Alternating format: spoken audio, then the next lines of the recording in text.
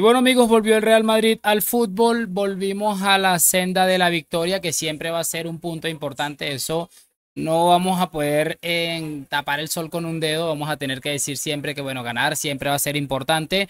Eh, imagen la circunstancia en la actual en la que estamos, en la que bueno, realmente eh, el Fútbol Club Barcelona está sacando muchos puntos por los motivos que sean, por los motivos que sean, está sacando muchos puntos y muchachos, tengo la sensación de que va a sacar muchísimos puntos y el Madrid va a ganar, va a querer ganar esta liga, va a tener que hacer una cantidad de puntos bastante interesantes para poder eh, plantarse con opciones de llegar al título sobre el final de la temporada. Y bueno, por eso siempre les digo, de hecho me han escuchado seguramente decir durante este arranque de temporada que el Madrid, eh, pese a todo, está sacando adelante los partidos, pese a dejar muy malas sensaciones. Hoy no ha sido un partido horroroso, horroroso, como hemos visto otras veces, pero sí ha dejado unas sensaciones que son preocupantes, sobre todo la, manera con la que te llegan con facilidad y te marcan un gol. Creo que hoy ha quedado patente nuevamente. Le han anulado un gol perfectamente anulado allí a, a Borja Iglesias, también le han anulado uno a Vinicius por fuera de juego de Mbappé.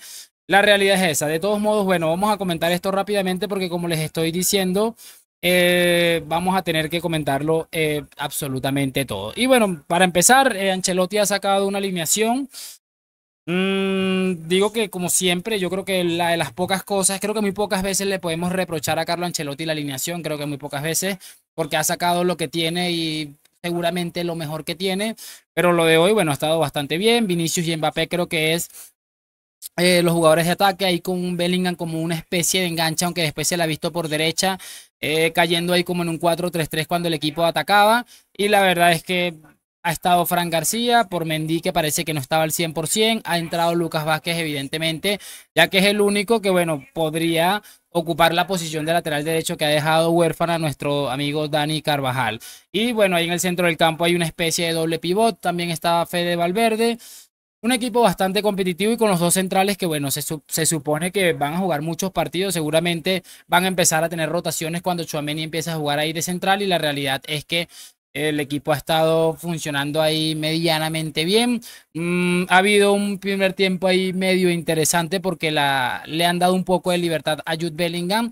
Le han liberado un poquito, un poquito de, labores defensivas en las que, bueno, Bellingham sabemos que es uno de los futbolistas que más corre esta plantilla y que más se sacrifica. Eso es muy importante.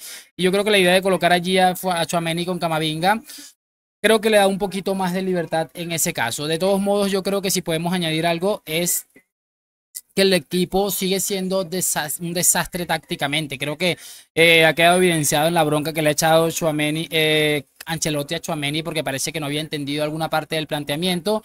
Ha llegado ahí como a, echarle un poco de bronca y la realidad es esa, que ha terminado por ser em, un desastre como hemos visto en muchos partidos. Sin embargo, se resuelve por varias de las genialidades que tienes en las individualidades. Eh, podemos empezar hablando perfectamente por Thibaut Courtois, que creo que es una de las genialidades que tiene este Real Madrid. Y es la siguiente.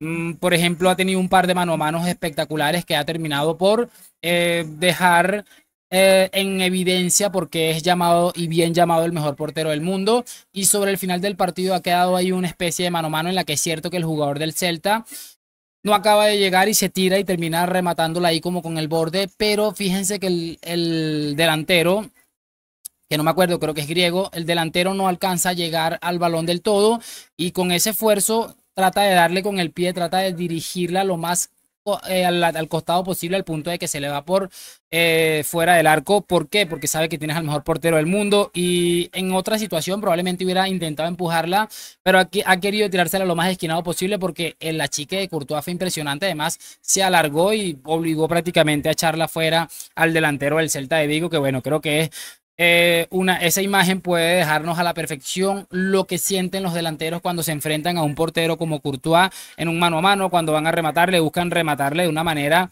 que sea prácticamente imposible hasta para un tipo como Courtois, como ha sucedido en el primer gol, que bueno, lo han dejado totalmente vendido. Eh, no está mal eh, militado y Chouameni. Militado, por cierto, tuvo una acción en el primer tiempo sobre el minuto 30 que me dejó preocupado, así, así como unos gestos de que no puede ser, pero bueno, parece que está bien. Esperemos que se mantenga, porque si no, imagínense, y realmente los defensas no han estado bien, eh, no han estado mal, pero sus compañeros en muchas situaciones les han dejado vendido. militado con ese poder que tiene para corregir, al igual que Rudiger, se han estado defendiendo a la perfección y creo que eso ha dejado eh, al Madrid en una situación eh, un poco más favorable al respecto, porque lo de los laterales, bueno, sabemos lo que es Lucas Vázquez y Fran García.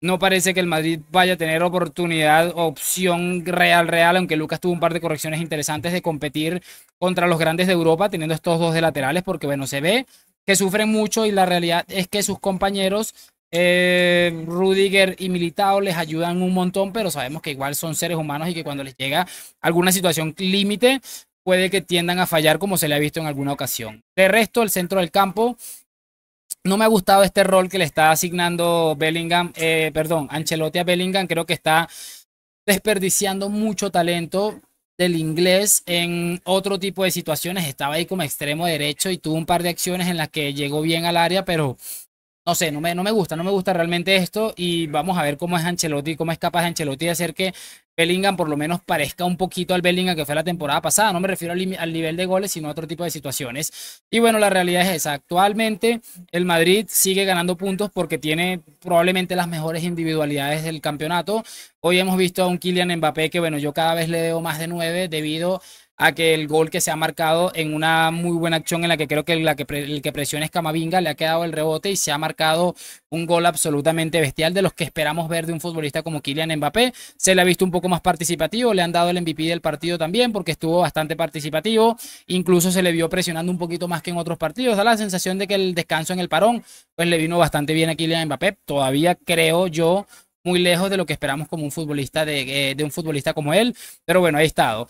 Eh, lo otro que podemos comentar y la otra, la otra individualidad, eh, yo creo que, bueno, en este caso vamos a hablar un poquito en algo colectivo que ha sido lo de Luca Modric, que por cierto hoy entró y se convirtió en el futbolista más longevo en, en pisar un terreno de juego con la camiseta del Real Madrid, un récord absolutamente merecido, una leyenda absoluta. Mucha gente dice que hay un problema con Modric. Yo creo que Modric mm, está muy lejos de ser un problema para el Real Madrid. De hecho, hoy ha entrado y ha sido una solución porque el pase que le filtra a Vinicius es espectacular. Es cierto que el movimiento y la definición de Vini eh, es el otro 40 o 30% de la jugada pero es que ha sido una brillantez absoluta. Ha tenido un par de acciones más que interesantes, incluso se le ha visto defendiendo. Creo que a este ritmo, es decir, con partidos de por medio para descansar, no jugando 60, 70, 80, sino más bien 20 o 30, creo que le puede servir de muchas cosas a, nuestro amigo Luca Modric para aportar. Creo que aportó también la temporada pasada.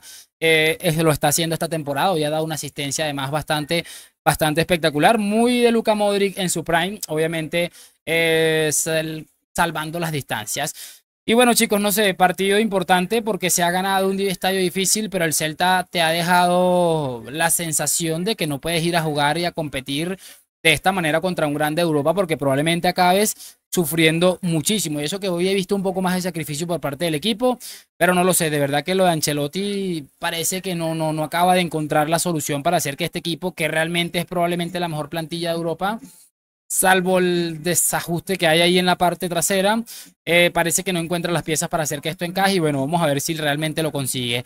De momento voy a despedirme. Vamos a, por supuesto, entre semana para ir comentando cositas. Vamos a ver cómo viene ese partido de Champions. Y posteriormente, pues evidentemente el clásico que creo que va a ser sumamente importante. El Madrid hoy descansa o duerme siendo líder del fútbol español. Vamos a ver qué es capaz de hacer mañana el Sevilla y nosotros qué podemos hacer el próximo fin de semana en el clásico. Hágame saber sus opiniones en los comentarios, me dejan su like, suscripción. Hoy, mañana y siempre a la Madrid. Gracias por acompañarme. Nos vemos en un próximo video. Chao.